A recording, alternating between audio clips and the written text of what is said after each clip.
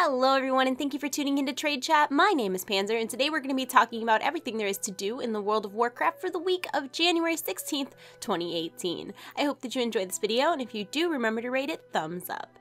The current value of the World of Warcraft token on North American realms is 172,029 gold and on EU realms 270,302 gold. It's Tuesday, so don't forget to grab your reroll tokens and recruit your Argus Order Hall minions. The 860 Broken Isle World boss is Na'zak the Fiend, and the 930 Greater Invasion Point boss is Matron Folnuna.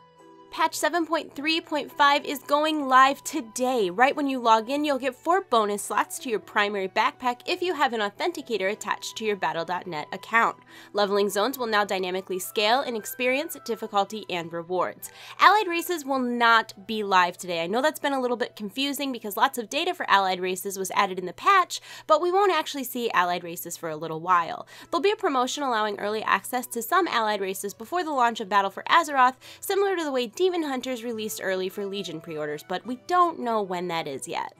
Awakening essences will drop 6 times faster, and items purchased with this currency will cost 6 times more. Players can spend 175 Waking essences to upgrade a 970 legendary to 1000, or spend 1000 Awakening essences to buy a random legendary item for their preferred loot specialization. If you've cleared Antorus on any difficulty, there will be new story quests available for you in Silithus, and on that note, the final wing of LFR will be opening today, so everyone can now clear Antorus, whether you're in a raiding guild or not. This also means that all players will now see the environmental changes in Silithus.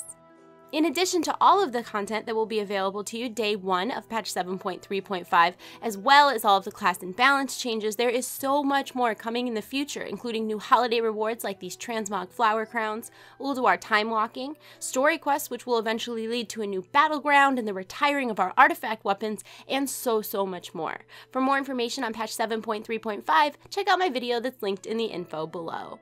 Call of the Scarab is a mini holiday running from January 21st through January 23rd. This was notably the most complex micro holiday that Blizzard added with patch 7.1.5, and it seems that this year they're expanding on it even further. New high-res bug mounts were added in patch 7.3.5, and while we don't know yet how they're obtained, it makes sense that with the wound in the world and the new quest in Silithus, Blizzard would want to add a little incentive for players to do an event that is conveniently located in the exact same place. It's pretty in line with the upcoming Battle for Azeroth narrative of Horde vs. Alliance, too. The winner of Call of the Scarab gets to fly their faction flag for a year, right around the corner from that brand new BG coming soon. For more information on Call of the Scarab, I've got a guide to the event linked in the info below. The archaeology reward this week is the key to Nar'thalas Academy, and if you are a Harry Potter fan, you're probably going to want to do this because the key will actually eventually reward you with the headmaster or headmistress title.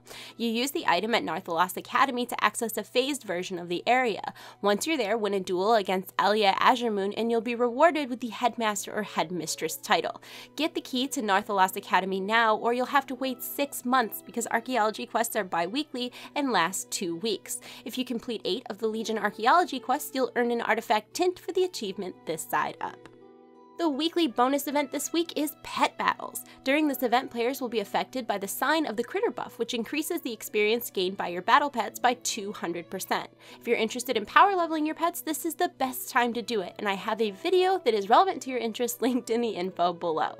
The quest for the Pet Battle bonus event is called The Very Best and can be picked up in Dalaran or from your adventure journal.